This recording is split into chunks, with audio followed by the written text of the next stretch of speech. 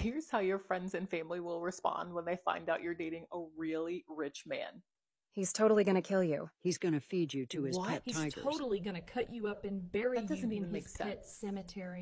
Versus how they'll respond when they find out you're dating your 111th Dusty in a row.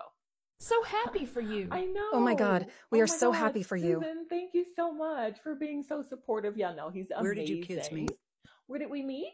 Well, actually, um, we met online. He he made me come to him for the date, and so I just knew that was meant to be, you know, because I got to be in control of that, like that that one thing.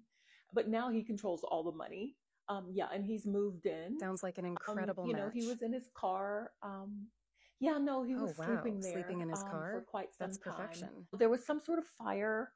His house was on a. It was on fire inside of a dumpster right before the whole thing just got swept away by this crazy tsunami. That is so crazy. I know, so crazy. But that is what brought us together. fine if right? someone is housing uh, adjacent Yeah, when you I'm meet them. pregnant. Oh my goodness, a Gonna baby! have this dusty baby. Congrats yeah, on the I baby. know. We are so happy. it's gonna be amazing.